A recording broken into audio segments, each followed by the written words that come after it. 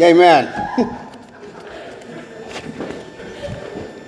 yeah, I, I was going to put out that uh, Denzel Washington uh, was going to be our, our, guest speaker. But uh, I didn't want to confuse you guys because since Denzel and I look alike, you know, well, I should say he looks like me because I'm older. Yeah, now, I, I have the, uh, the privilege in uh, preaching the lesson this evening, or this morning. Well, I, it'll be evening by the time we're done. But, amen. so, uh, the title of our lesson today is What Does the Bible Say About Self Righteousness? So, you know, let's talk about being self righteous. So, you know, you might be a self righteous hypocrite if you judge the sins of others but overlook your own sins. You judge the sins of others based on your own criteria. You are more concerned about actions than heart attitudes. You are more interested in judging than restoring. You always have an excuse for everything about yourself. Now, in addition, you might be a self righteous self idolater if other people don't know as much about the truth as you, other people don't obey God as well as you, and other people aren't quite as righteous as you. You know, Webster Webster's definition on self-righteousness is or self-righteous is having or characterized by a certainty especially an unfounded one, that one is totally correct or morally superior. You know, some of the synonyms for uh, self righteousness is holier than thou, self satisfied, smug, too good to be true, pious, superior, and hypocritical. Now, the Bible defines self righteousness as relying on one's own merits or righteousness as the grounds for their salvation and the reason for God to save them. So, in other words, it's like, well, I'm so awesome at, I mean, there's no way God's not taking me to heaven. I mean, I, I you know, I'm probably number one. But, and, and, you know, we can laugh and all that stuff, but by our actions, sometimes we can, well, I won't talk about you, I'll talk about me. Oh, sometimes I can come across that way that I'm just so awesome that, I mean, how can God overlook me? You know, but the Bible teaches the opposite um, in many places. You know, in, uh, in Ephesians 2 8, for example, it says, For by grace you've been saved through faith, and not of yourself. It is a gift of God. Romans 3:10 says, "As it is written, there is no one righteous, not even one." You know, I, although any Christian understands that this is not possible because of our sinful nature. It is uh, a constant temptation to all of us to believe we are or can be righteous in and of ourselves. You know, I in the New Testament, James and the Apostle Paul come down particularly hard on those who attempted to live in self righteousness. So our first point is Jesus condemn our condemnation of self-righteousness. You know, Jesus was, uh, I think, especially hard in his treatment of the Jewish leadership of the time when it came to self-righteousness. In Matthew 23, you know, Jesus condemns the scribes and the Pharisees for rigidly adhering to their legalistic traditions in order to make themselves look better to others. So turn your Bibles to Matthew 23. And uh, we're going to listen to Jesus talking to us. Matthew 23, and we're going to start in verse 1. And the Bible says Then Jesus said to the crowds and to his disciples, The teachers of the law and the Pharisees sat in Moses' seat. So you must be careful to do everything they tell you, but do not do what they do, for they do not practice what they preach.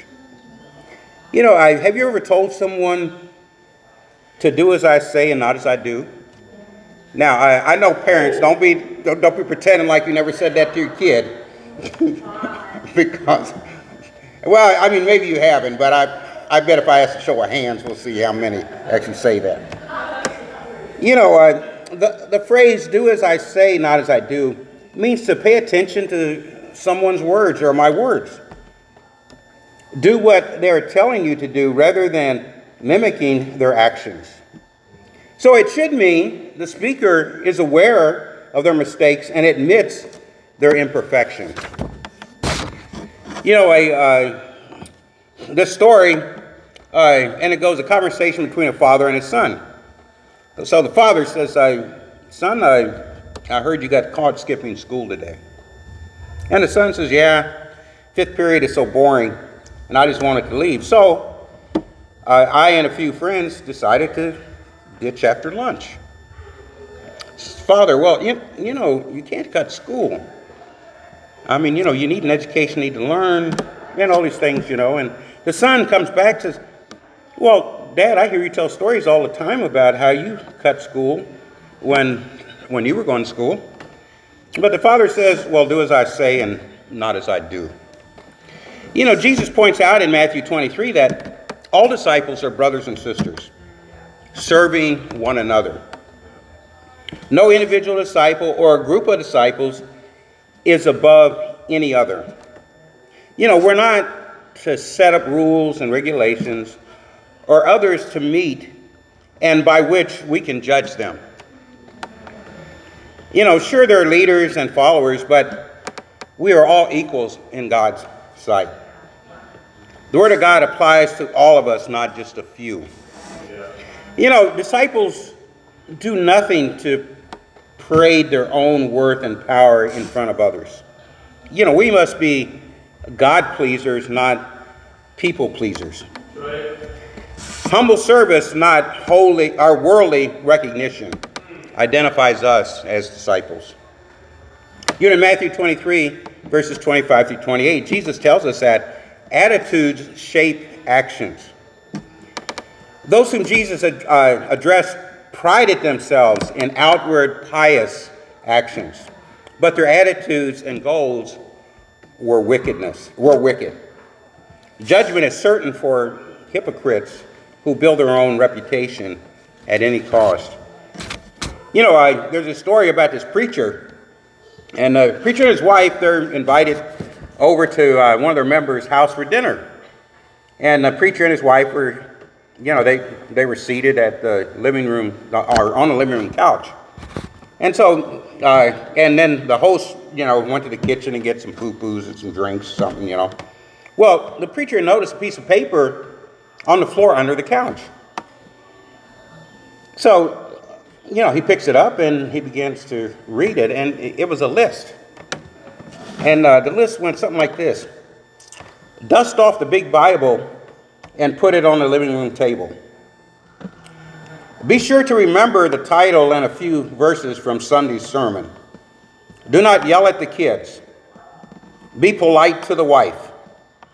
Don't forget to pray for the food. And throw in a few things that will impress the preacher. And if the preacher or his wife tells a joke, be sure to laugh.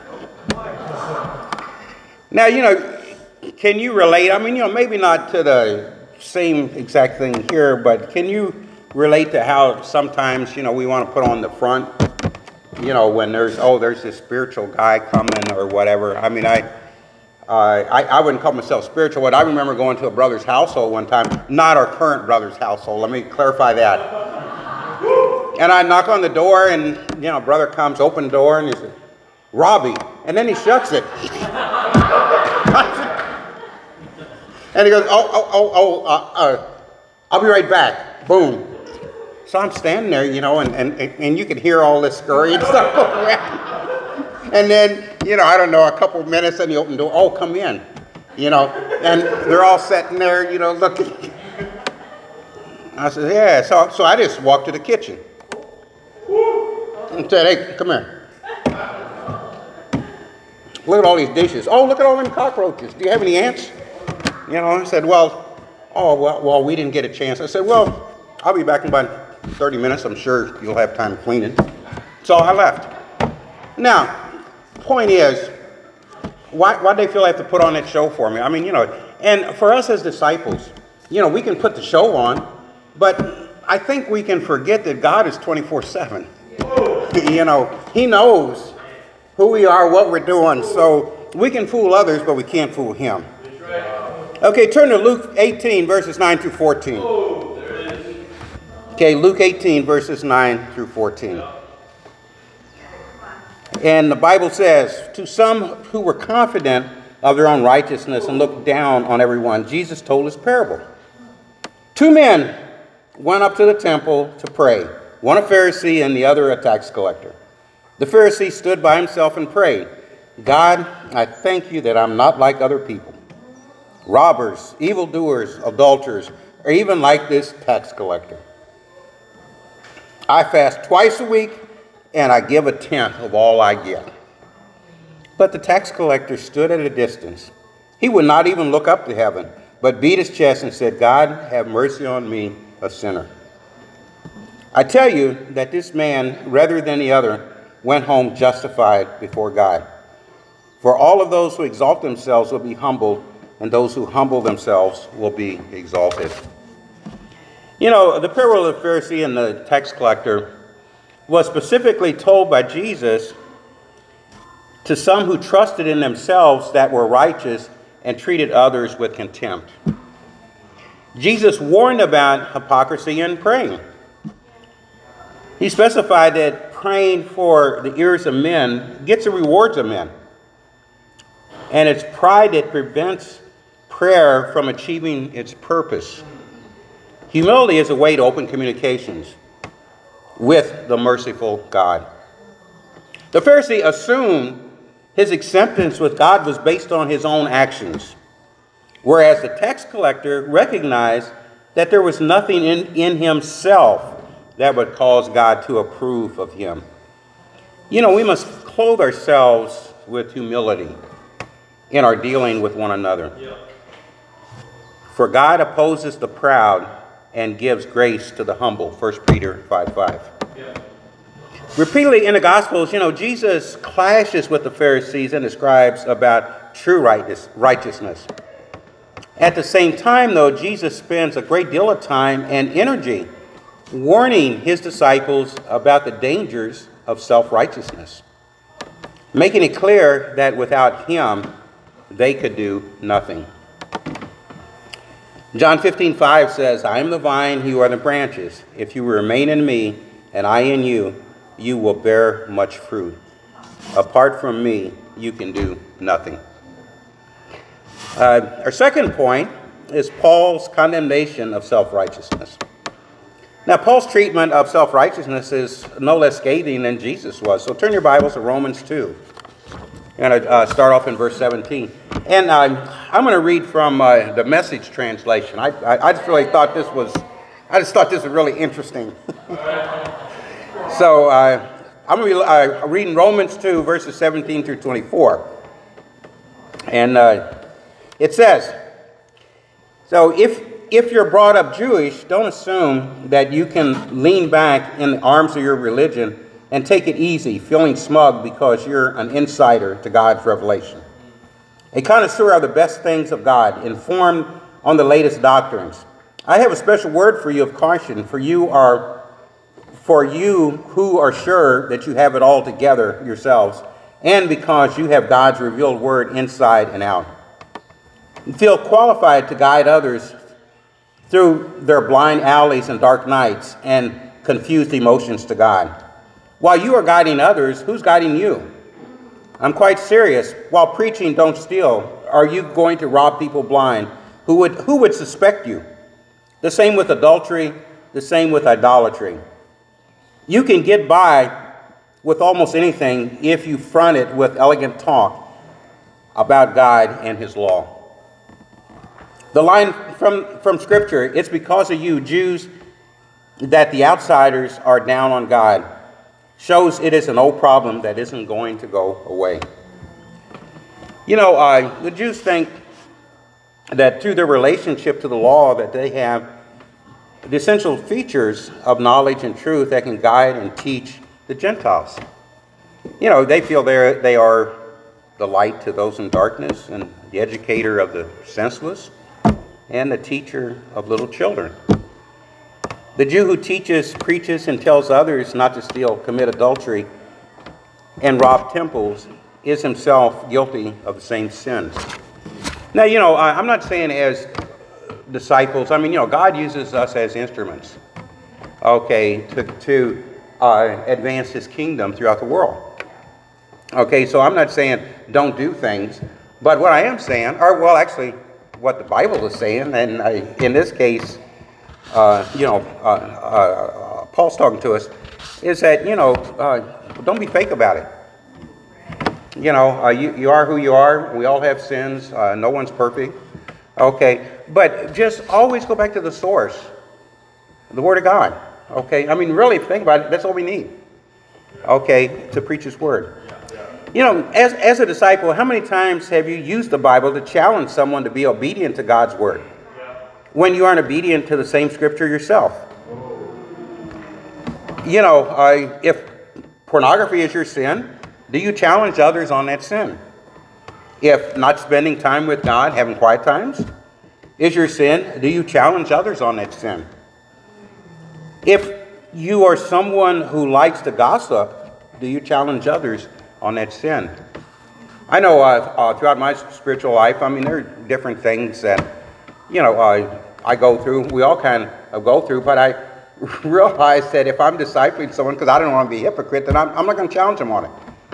You know, which is kind of sad when you think about it. Because wouldn't it be easier for me to just uh, be open and confess and move on than, than, to, than to kind of hide it and pretend it isn't there? You know, uh, like the Jews in Roman, Romans 2, are you a hypocrite? Are you self righteous? Romans 10:3 says, Since they did, did not know the righteousness of God and sought to establish their own, they did not submit to God's righteousness. You know, the Jews tried to gain acceptance with God based on their, their own righteousness, demonstrating ignorance of the true righteousness of God.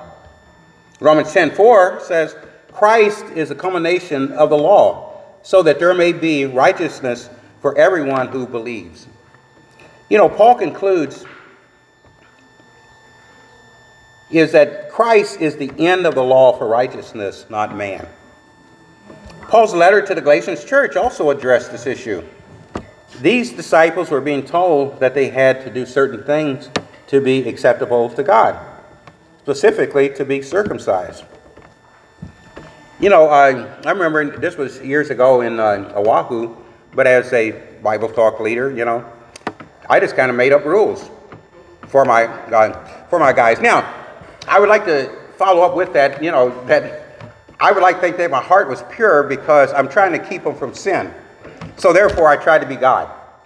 Okay, because uh, especially in dating, they, they would say, oh, dates over about 10 o'clock. Call me, you know, at 10 o'clock. So I know you're not out. And don't lie because I'll know. And so, I mean, now since most of them were military, they said, oh, yes, sir, yes, sir, three bags full but uh, it was sad when, when I thought about it. But I mean, you know, I, I would come up with these rules. I would think, think things out, and I said, you know, I can't trust them to do things on their own, so I need to give them a, a checklist of what they need to do. And I mean, uh, I can laugh about it now, but at the time, I, I mean, I was dead serious, and, and I thought I could really help them, you know, to be more spiritual. Well, uh, it really didn't work. Okay, but I, I tried. So, you know, we may do things to want to try to help people, and, and, and I would say, hey, look at the heart behind it. Okay, because that's what God is looking at. You know, uh,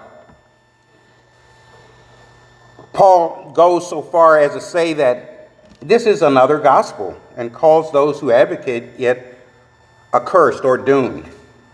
Turn your Bibles to Galatians 1 8 through 9.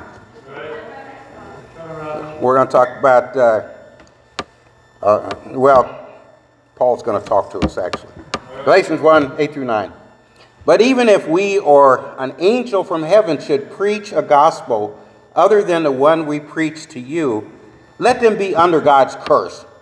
As we have already said, so now I say again if anyone is preaching to you a gospel other than what you accepted, let them be under God's curse.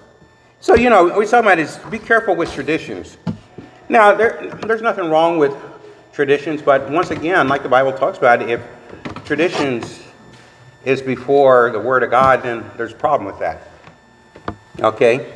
More telling, Paul tells his readers that if righteousness could come from their own actions, then Jesus died for no purpose. You know, and the scripture spells that out in Galatians 2:21. It says, "I do not set aside the grace of God, for if righteousness could be gained through the law, Christ died for nothing." You know, in Galatians 3:21, Paul further states, "Is the law therefore opposed to the promises of God?" Absolutely not. For if a law had been given that could impact life, then righteousness would certainly have come by the law. So, you know, Paul's conclusion about the uh, Galatian believers was that they had been foolish in their attempt to be perfected by the flesh. Turn to Galatians 3 1 through 3, and, and we'll see specifically what the Bible says. And the word says, You foolish Galatians, who has bewitched you? Before your very eyes, Jesus Christ was clearly portrayed as crucified. I would like to learn just one thing from you. Did you receive the Spirit by the works of the law or by believing what you heard? Are you so foolish after beginning by means of the Spirit? Are you now trying to finish by means of the flesh? You know, it would be an understatement to say that every disciple is plagued by this attitude. You know, it is in our sinful nature to try to do something to merit our salvation. You know, isn't our current society about being works oriented? You know, that if you do something, then this is going to be your reward. And there's maybe not anything necessarily wrong with that, but if you're talking about your salvation, well, then, you know, I'm, I'm going to go with what the Bible tells us. The costly freedom of grace brought for us by the blood of Jesus with no contribution from us. You know, if you think about it, once again, what did we do to gain the salvation that Jesus, that God has to offer? Nothing. you know, it's by His grace. You know, it's, it, it's difficult for our prideful hearts to understand or even appreciate. It is far easier to compare ourselves with one another than it is to recognize that we cannot measure up to the standards of the Holy Spirit. You know, uh, I want to talk about, you know, looking down on people. I know uh, a few years back, you know, uh, Lynn and I I went home on vacation to visit the Robinson family. Now, our family is, is very, well, I won't say very, we're religious. Okay? And so uh, Saturday night, we're talking about Sunday. And my family said, oh, so we're all going to drive, it was something like six or seven miles to uh, Grandpa's church. Well, you know, Grandpa was a deacon in this church, and most of the time, whenever we all got together, then we would go visit Grandpa's church. Uh, but me now, you know, as a disciple, uh, I spoke up. I said, well, no, uh, Lynn and I will be going to our own church. I said, oh, okay. I mean, I, I want to show them how righteous I was, you know. And uh, my sister asked, well, uh, how far is it? Oh, it's just 150 miles. So anyway, Lynn and I get in the car and we drive drive to. Uh, uh, well, this is back in ICOC days, so an ICOC church, and we were there for a couple hours maybe. Then we drove 150 miles back, and uh, I mean I felt good. You know that's what we're supposed to do. So I remember coming back and I was talking to, and I remember who the minister was here at the time, but And I, you know, I had to tell my story. I said, yeah, I don't know what's wrong with them. They want us to go to this church. I said, man, they, I, I mean, they're a bunch of heathens anyway, you know, and, and, and all this stuff. I said, but we had an awesome time. You know, well, I was actually lying. It wasn't an awesome time, but anyway. No, I mean, I mean no, because uh, you, seriously, it was an outdoor service, and we're, we're sitting in the sun, and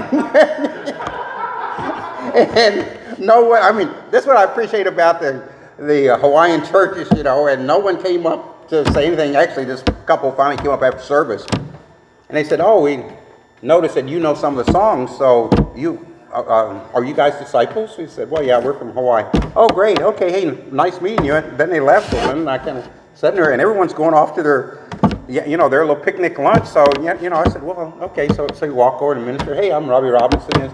Oh, hey, oh, all the way from Hawaii. Oh, great. Says, well, you know, we're having a potluck. Uh, well, actually, he didn't say potluck.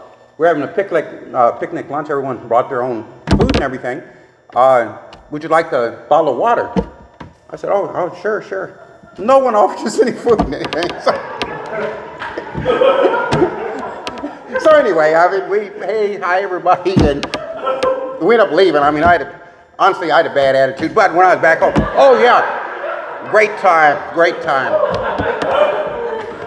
But you know, something, something that, uh, and I, like I said, I don't remember who the minister was at the time, but said, he says, well, bro, he says, uh, you know, I, I think maybe you missed an opportunity. That would have been a great opportunity for you to maybe reach out to your family, you know, and, and uh, you, you know, and he went on and on. And I was sitting there thinking, oh, man. but, but, you know, I had to boast about my conviction and everything. And there's nothing wrong with having a conviction about different things. But I think sometimes, and in my case, honestly, I kind of wanted to show him how righteous I was when he pointed out I was being self righteous. You know, so, you know, uh, but, but, you know, don't you like comparing yourself to someone that is not as skilled or smart, smarter, or as talented as you? You know, uh, if you're a golfer, I don't know if we have any golfers here, but do, I mean, really, do you ever compare yourself to Tiger Woods? no. You know, you're going to compare yourself to probably someone like me. I remember swinging the golf club and I'm looking and, oh, the ball's still there. Okay. so I said, said, okay. I, I actually went out with the Admiral once uh, golfing, and uh, he didn't ask me to come back. so anyway, I mean, that was his problem, not mine, but. uh, but you know, uh, in in uh, in, uh, you know for for our campus students, you know, do you do you compare yourself with the the struggling 2.2 GPA student or or with the 4.0 student? You know, a married couple, do you want to compare your family and how everything is awesome to maybe the family that's struggling with their teenage kids. You know, I, I think I, a lot of times we can, you know, we want to compare ourselves to maybe the, the lower end of the spectrum instead of ultimately Jesus Christ when he was here. You know, because when we start comparing ourselves to Jesus Christ, I mean, there is no comparison. You know, I don't care how well off you think you are, you are what, what that scripture talking about being filthy rags? You know, so, you know, uh, if we are self righteous, other people don't know as much as you, as us. Other people don't obey God as well as us. And other people aren't quite as righteous as us. You know, in Christ, we know true righteousness. In Christ, we can know the forgiveness of sin that comes to us through grace.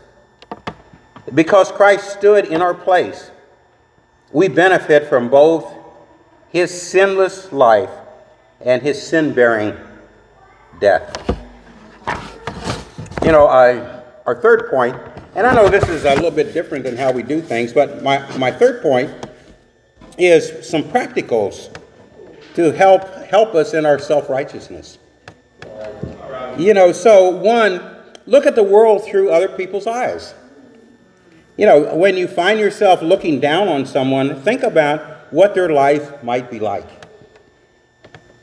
Our second one is ask yourself why you judge other people.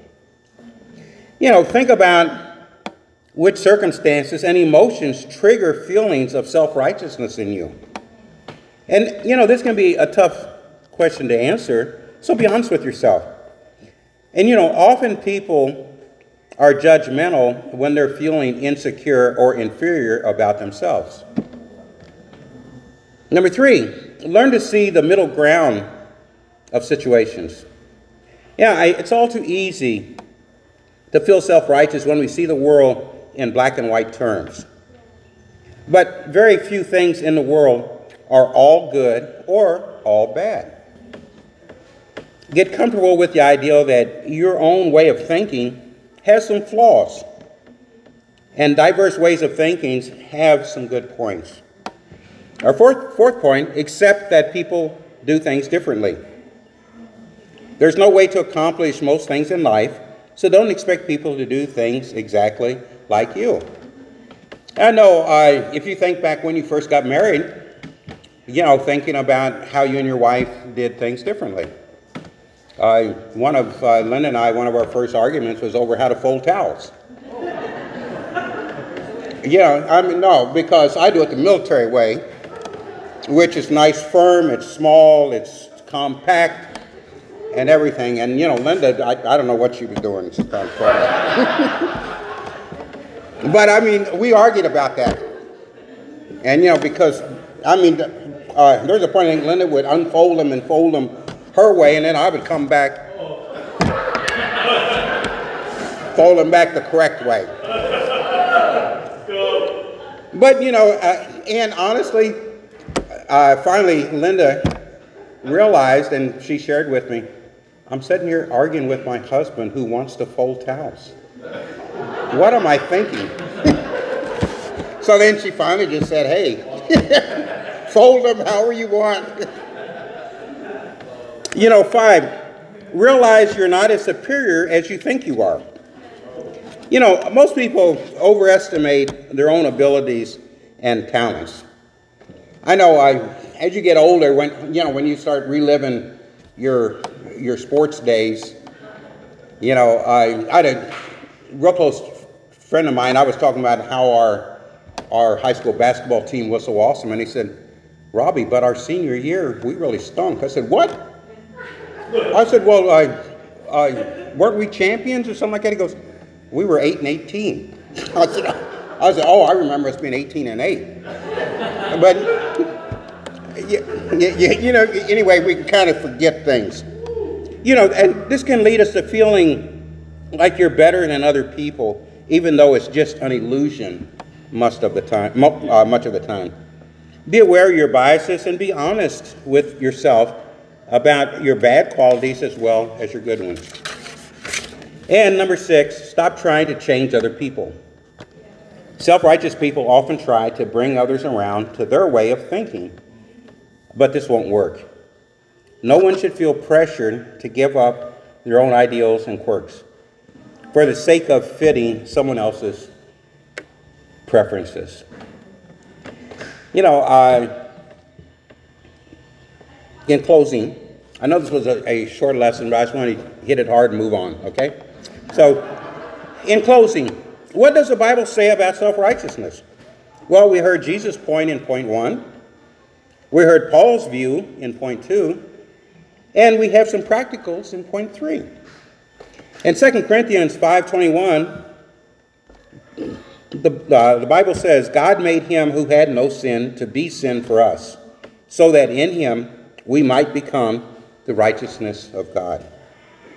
So because of Jesus' sacrifice on the cross, we can face our sin and bring it to the cross, rather than try somehow to be good enough for God. Only the cross can see, or can we see the grace that covers all of our sin and defeat the constant tendency toward self righteousness in our hearts?